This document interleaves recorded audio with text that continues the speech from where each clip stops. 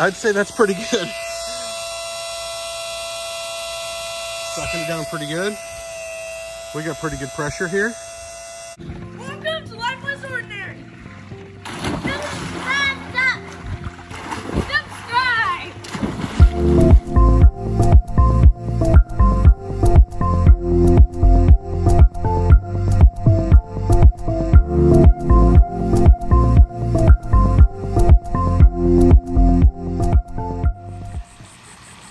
Hey everybody, welcome back to the channel. It is early August and I think we've been over 100 degrees for well over a month now this summer.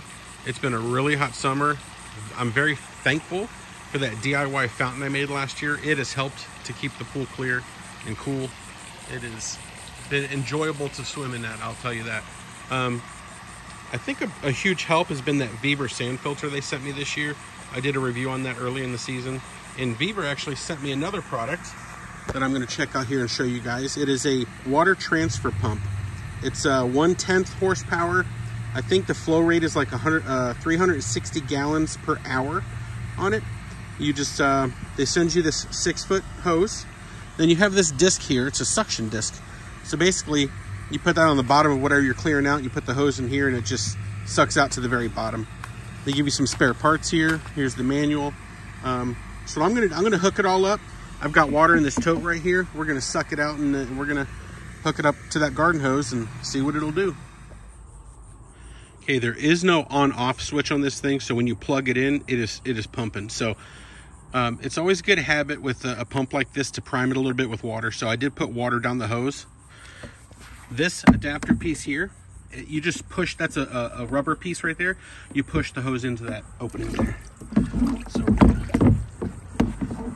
that into the tote just like that. We're gonna plug it in. And I got the hose hooked up over here. We're gonna see what kind of flow we get out of this thing. Here we go.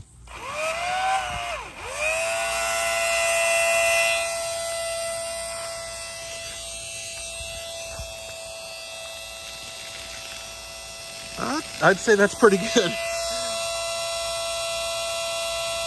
Sucking it down pretty good. We got pretty good pressure here.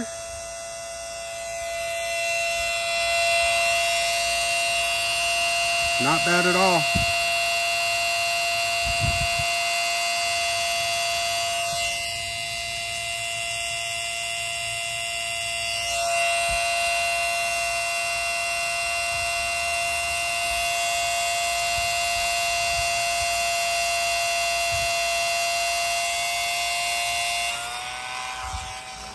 Gets down to the bottom like that. So it's pretty good. Look at that. It's kind of getting all the way to the bottom.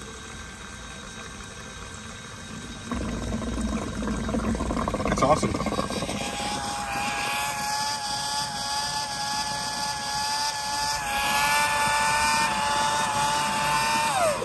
There we go. I'd say it did a pretty cool little job. Not bad for a, a little transfer pump like this. I mean, the places I would use something like this, uh, let's see, if you're cleaning out a, a large aquarium, this would be awesome.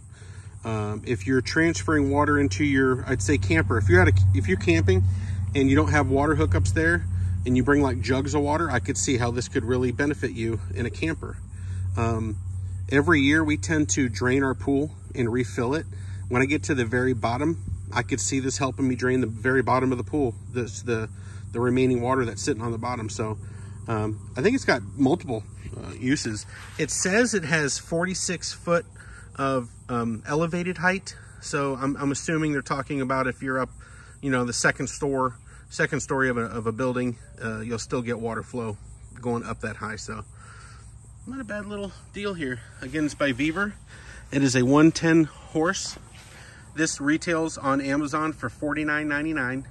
Um, not a bad little gadget, and I've had really good luck with the sand filter from Vevor this year, so I imagine this product's probably just as good. So appreciate you taking the time to watch the video. If you got any comments, just leave them. I'm really good at answering questions, and I appreciate your time. Have a great day. Kind of wanted to add one little thing at the end of this video here.